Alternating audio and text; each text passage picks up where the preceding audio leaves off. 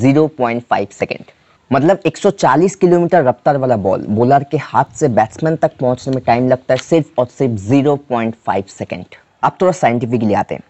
हमारा conscious mind का सोचने का स्पीड होता है 60 बीट्स पर सेकेंड मतलब आप लगभग पकड़ लीजिए पर सेकेंड में हम लोग पाँच से छः शब्द ही सिर्फ़ पढ़ सकते हैं।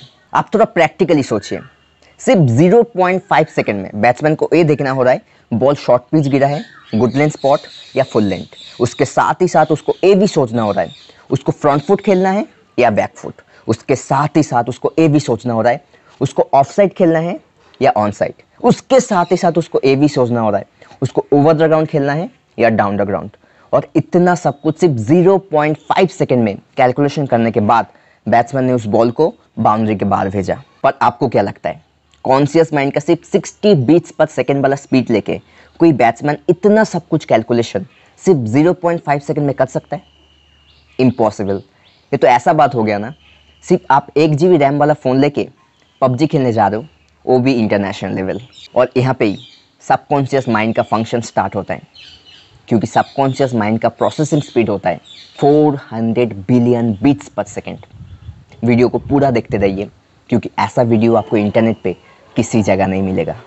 Hello wassup guys welcome to फिक योगी अगर आप सबकॉन्शियस माइंड के ऊपर मेरा पिछला वाला वीडियो नहीं देखे तो ऊपर आई बटन में क्लिक करिए और पहले ओ वाला वीडियो देख के आइए। क्योंकि बिना ओ वाला वीडियो देखे, आपको ए वाला वीडियो समझ नहीं भी आ सकता है।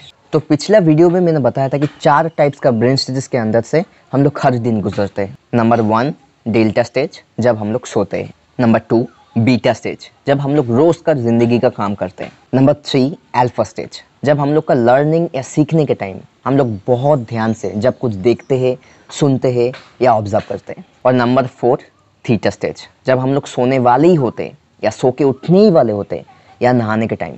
तो यहाँ तक आप लोग समझे। अब आते हैं नया अपडेट पे। क्योंकि मुझे पता है, अगर सब कुछ इन्फॉर्मेशन मैं आपको एक साथ दे दूँ, आपको कुछ नहीं समझ आएगा। इसलिए मैं थोड़ा थोड़ा करके इन्फॉर्मेशन आपको देता हूँ। और उसको एक्सप्लेन करके आपको समझाता हूँ जिससे आप पूरा पूरी समझ पाए। सो so, माँ की कोख से दो साल की उम्र तक हम लोग सभी डेल्टा स्टेज से होके गुजरते हैं। इसलिए दो साल की उम्र तक हमारा ज़िंदगी में क्या हुआ है हम लोग को कभी किसी को याद नहीं रहता।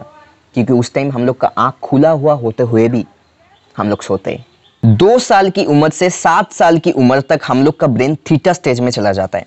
इस टाइम हम लोग एक ट्विलाइट जोन में रहते हैं। सच कौन सा है और सपना कौन सा है इसके अंदर हम लोग फ़र्क नहीं कर पाते। क्योंकि हम लोग एक लूसिड स्टेज में चले जाते जिस टाइम हम लोग को ऐसा कुछ दिखाई देता है जो हमारा पेरेंट्स या नॉर्मल लोगों को नहीं दिखाई देता। इसलिए कभी कभी देखना दो से तीन साल के बच्चे अपने आप से ही बात करते हैं। वो लोग अपना इनर वर्ल्ड और आउटर वर्ल्ड का बीच का डिलेमा में रहते हैं।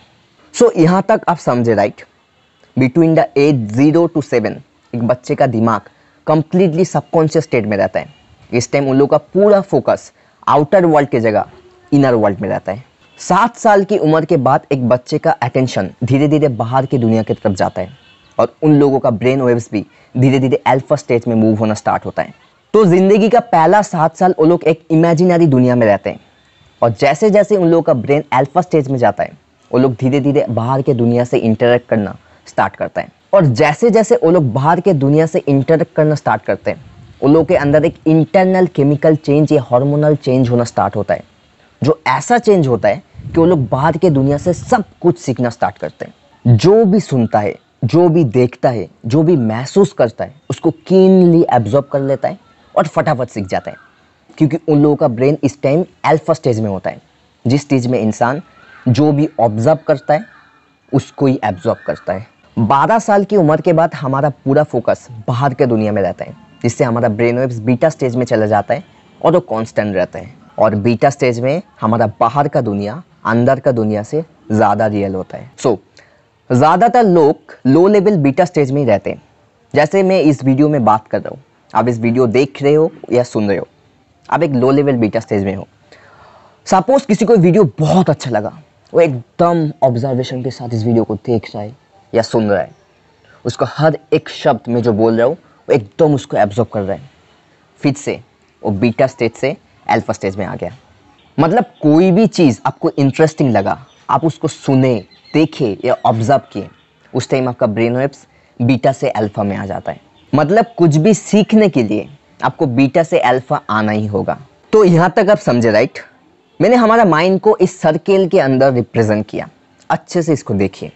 तो आप जब जन्म लिए उस टाइम आप पूरा सबकॉन्शियस माइंड के कंट्रोल में ही थे। कैसे पता चला? क्योंकि अभी हम लोग स्टडी किए कि कैसे जन्म से शुरू करके सात साल से बारह साल की उम्र तक हम लोग का दिमाग पूरा पूरी सबकॉन्शियस माइंड के कंट्रोल में ही रहता है। इस टाइम हम लोग सीखते हैं। जो भी चीज़ हमारा सामने आता है अच्छा हो, बुरा हो, कुछ भी हो, जो भी हमारा सामने आता है, हम लोग को सब सीखते हैं। तो सिंपल लैंग्वेज में अगर मैं आपको समझाऊँ तो सबकॉन्शियस माइंड एक ऑटो रिकॉर्डर के जैसा है, जो हमारा सबकॉन्शियस माइंड पे रहता है। जो जन्म लेते ही हमारा ऑटो रिकॉर्डर ऑन हो जाता है, जिसको चाहते हुए भी हम लोग बंद नहीं कर सकते। जो भी सुनते हैं, जो भी देखते हैं, वो ऑटो रिकॉर्डर पे रिकॉर्ड हो जाता है। पेरेंट्स कैसे बिहेव करते हैं? बाहर की दुनिया कैसे बिहेव करता है? कौन सा और कैसा शो टीवी या फ़ोन में हम लोग देखते हैं? लोग हम लोग से या हमारा आसपास के लोग से कैसे बिहेव करते हैं? ये सब कुछ हमारा सबकॉन्शियस माइंड पे रिकॉर्ड हो जाता है। और उसी रिकॉर्ड के बेसिस पे हमारा कैरेक्टर बिल्ड होता है। हमारा बिहेवियर हमारा नेचर हमारा कैरेक्टर सब कुछ। 12 साल की उम्र तक हमारा सबकॉन्शियस माइंड पे जो भी रिकॉर्ड हुआ है, उसकी बेसिस पे ही होता है। आपका कैरेक्टर या आपका सोचने का तरीका जैसा भी है 12 साल की उम्र तक आपका सबकॉन्शियस माइंड पे जो भी रिकॉर्ड हुआ है, उसके बेसिस पे ही होगा। तो इसका मतलब क्या? अगर कोई 12 साल की उम्र तक खराब कुछ सीखा, अगर कोई 12 साल की उम्र तक बहुत कुछ खराब चीज़ का सामना किया, जैसे domestic violence sex husband etcetera etcetera तो उन लोग का कैरेक्टर भी क्या ऐसा ही बिल्ड होगा? उन लोग का कैरेक्टर खराब ही होगा। जी, बिल्कुल नहीं। इसको बोलते हैं twenty one days habit challenge आप किसी भी चीज़ को बार बार लगातार, हर दिन प्रैक्टिस करने से 21 दिन में आपका सबकॉन्शियस माइंड का पैटर्न चेंज कर सकते हो। इसीलिए बहुत सारा मोटिवेशनल स्पीकर या लीडर जो लोग को ये चीज़ पता होता है, वो लोग 21 डेज़ ट्रांसफॉर्मेशन चैलेंज लेते हैं। क्योंकि 21 दिन हर दिन प्रैक्टिस करने से आपका सबकॉन्शियस माइंड का पैटर्न चेंज किया जा सकता है। फॉर एग्ज़ाम्पल सपोज़ किसी को बहुत गुस्सा आता है। उस टाइम उसको कुछ भी कंट्रोल नहीं रहता, वो क्या बोलता है और क्या बिहेव करता है। वो नहीं चाहते हुए भी वो कुछ भी बुरा बोल देता है। अगर वो व्यक्ति 21 दिन ऐसा सोच लिया ना कि मुझे जितना भी गुस्सा आए, मैं किसी को कुछ नहीं बोलूँगा। अगर वो 21 दिन तक अपना गुस्सा को कंट्रोल कर लिया तो उसका सबकॉन्शियस माइंड पे री पैटर्न होना स्टार्ट हो जाता है और वो गुस्से को ठीक कर सकता है। किसी को अगर गिटार बजाने का कुछ नहीं आता ना वो अगर हर दिन गिटार लेके थोड़ा थोड़ा करके बजाता रहे, हर दिन तो 21 दिन में उसका सबकॉन्शियस माइंड का पैटर्न चेंज हो जाता है। और 21 दिन के बाद उसको भी समझ में आता है अच्छा ये वाला सूर्य यहाँ पे काम करता है अच्छा ये वाला सूर्य यहाँ पे, उसको भी समझ आता है। और ऐसे ही कोई भी इंसान पहला दिन आके ही 140 किलोमीटर बॉल को छक्का नहीं मार सकता। हर दिन प्रैक्टिस कर करके कर करके कर करके उसका सबकॉन्शियस माइंड का पैटर्न इतना स्ट्रांग हो गया है कि आप इजीली 140 किलोमीटर बॉल को छक्का मार के बाउंड्री के बाहर भेज सकता है, क्योंकि सबकॉन्शियस माइंड का प्रोसेसिंग स्पीड होता है 400 बिलियन बीट्स पर सेकेंड। और इसीलिए बॉक्सिंग में block punch block punch block punch block punch block punch, इतने बार सिखाया जाता है, इतना बार सिखाया जाता है, इतना बार सिखाया जाता है वो लोग का सबकॉन्शियस माइंड के अंदर एक पैटर्न बन जाता है। और वो पैटर्न इतना स्ट्रांग होता है ना कोई अगर कोई मारने आए ना ऑटोमेटिकली वो लोग का रिफ्लेक्शन आता है, ब्लॉक पंच। वो लोगों का कॉन्शियस माइंड तब तक कैलकुलेट ही नहीं कर पाता है कौन मारने आ रहा है, क्यों मारने आ रहा है, कहाँ से मारने आ रहा है। वो कैलकुलेट ही नहीं कर पाता, तब तक सबकॉन्शियस माइंड एक्शन ले चुका होता है। तो दोस्तों 12 साल की उम्र तक आप अपने बच्चे को जैसे तैयार करोगे 80 परसेंट चांस उसका कैरेक्टर भी वैसा ही बिल्ड होगा। और दोस्तों सपोज़ कोई बच्चा खेल रहा है, अब उसके पास जाके आपका कोई दोस्त से ऐसा कुछ बात बोले जो उस बच्चे का सुनने के लायक नहीं।